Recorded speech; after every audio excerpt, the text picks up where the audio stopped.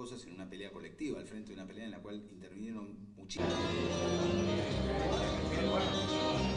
Como, como radio pública nos parecía que, que era muy importante generar un primer encuentro de músicos, de productores, eh, de, to- de toda la gente que está involucrada en la movida artística en relación con la música, eh, para comenzar a pensar la, la nueva ley de la música. La Bueno, la ley de la música que fue aprobada el año pasado y que eh, tenemos el honor de, de haber sido designado junto con Celsa Melgoula en la vicepresidencia y yo en la presidencia, lo que propone es una ley de fomento a la actividad musical.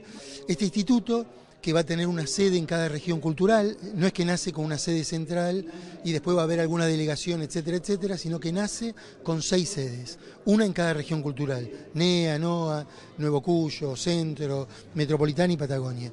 Eh, va, a tener, va a apuntar al fomento de la actividad musical en seis áreas, sobre todo música en vivo, que luego de la tragedia de Cromañón la actividad musical no se recuperó en cuanto a la circulación de música en vivo. Se va a fomentar fuertemente con los circuitos estables de música en vivo en cada región cultural. La posibilidad de fomentar la producción a través de vales para fabricar discos, para imprimir láminas, para tutoría de DVD, para hora de grabación.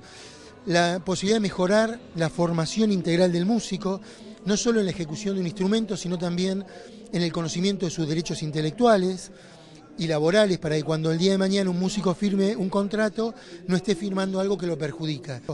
La ley permite regular en dos aspectos. Uno, cuando viene un artista extranjero, tiene que haber sí o sí un telonero nacional. Un artista nacional que pueda desarrollar su, su arte en media hora y no solo lo que lo vea una convocatoria amplia de gente, sino también cobrar el derecho de autor, que es un dinero interesante cuando es un espectáculo masivo. Y también la posibilidad de acceder a la difusión con un porcentaje de los medios que componen RTA para difundir las actividades del instituto. Se vincula con la ley de medios también, ¿no? en el sentido de el espacio que la música argentina e independiente, la música independiente argentina tiene que tener en las emisoras.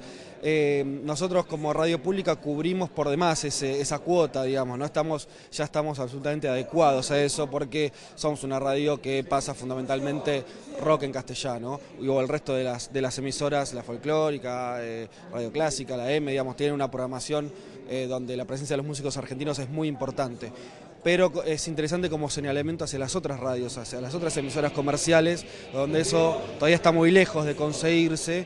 Entonces me parece que el espacio desde la, la radio como un lugar eh, histórico donde la música se escuchó, digamos, donde la música es, es un factor fundamental de cualquier emisora, pensar la nueva ley es importante porque este, hay un montón de radios que van a tener que volver, empezar a pasar eh, la música argentina, ¿no? Entonces eso me parece que también es un aspecto relevante.